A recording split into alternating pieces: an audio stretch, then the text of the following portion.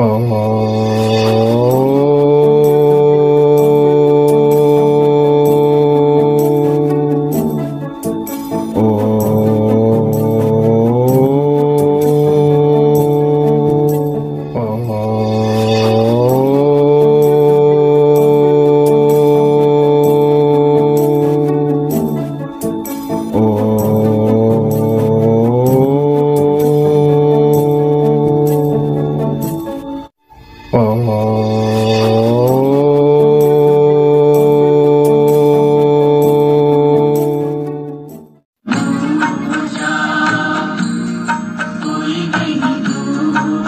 जय साई राम नमस्कार। मैं ब्रिजमोहन सूरी स्वागत कर रहा हूँ आपका, आपके इस चैनल में। और आज हम बात करने वाले हैं आपसे बुधवार के उपाय की। आज मैं आपको बताऊँगा कि 7 अप्रैल 2021 बुधवार को क्या उपाय करना है। आप जानते हैं, प्रतिदिन मैं एक उपाय बताता हूँ। तो ये उपाय किसी भी राशि का व्यक्ति कोई भी इसे कर सकता है।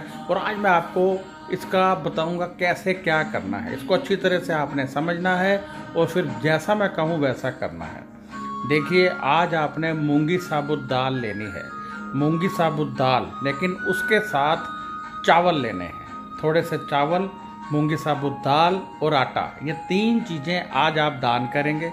या तो किसी मंदिर में दे दीजिए, चाहे किसी गरीब को दे दीजिए, जल प्रवाह कर दीजिए, किसी पक्षी को डाल दीजिए। गाय को भी खिला सकते हैं। गाय को खिलाना है तो हरे रंग का चारा यदि खिलाएँ तो ज़्यादा अच्छा है। इससे आपको बड़ी तेज़ी से लाभ मिलने वाला है और बुद्ध आपके उच्च हो जाएँगे और जब बुद्ध उच्च होते हैं तो कहते हैं, बुद्ध उच्च तो सब कुछ शुद्ध।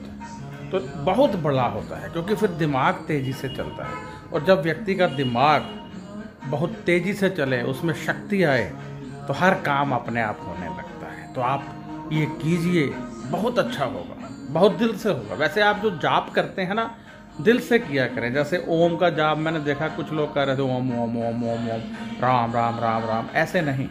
ओम का करना है, लंबा सांस लीजिए और फिर बोलिए ओ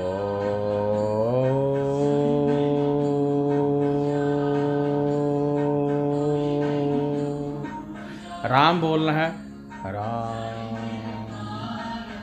राम इस तरह बोलिए जैसे हम उस शब्द से प्रेम कर रहे हैं यानी हम उस परमात्मा से प्रेम कर रहे हैं। वाहे गुरु वाहे गुरु वाहे गुरु वाहे गुरु वाहे गुरु ऐसे नहीं। वाहे गुरु क्योंकि जब आप प्रेम से बोलेंगे तो यहाँ से तरंगे कुंडलनी से, पूरी कुंडलनी जागृत होती है। और जब हम तेज बोलते हैं तो यहाँ सर दर्द यहाँ पे दर्द होना शुरू हो जाएगा, एक टेंशन सी क्रिएट हो जाएगी। इसलिए दिल से कीजिए, जो करना है दिल से कीजिए। कोई उपाय करना है दिल से कीजिए, किसी को दान करना है दिल से कीजिए, किसी से प्रेम करना है तो दिल से कीजिए। मैं ब्रिजमोहन सूरी, क्षमा चाहता हूँ, यदि कहीं कोई भूल चूक हो गई हो तो मैं क्षमा चाहता हूँ।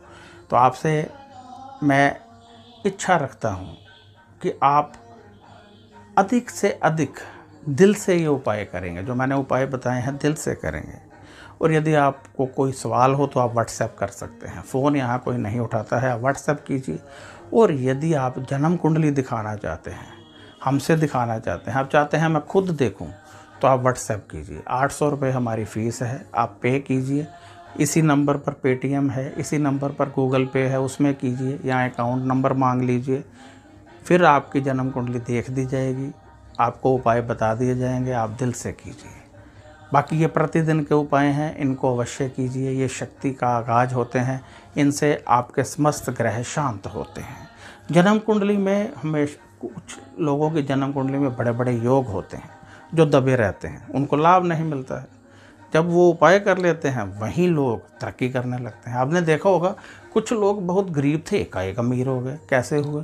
क्योंकि उनके निवास में किसी ना किसी के घर में कोई ना कोई योग होता है उनको पता नहीं होता, जैसे ही पता चलता है वो उसका उपाय करते हैं, ग्रह काम करने लगते हैं, धन तेज़ी से आने लगता है।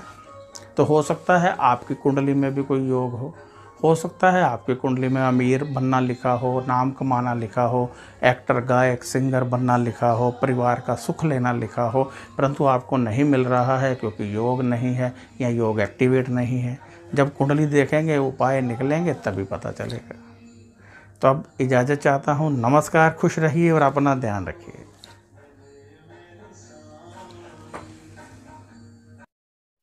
Oh.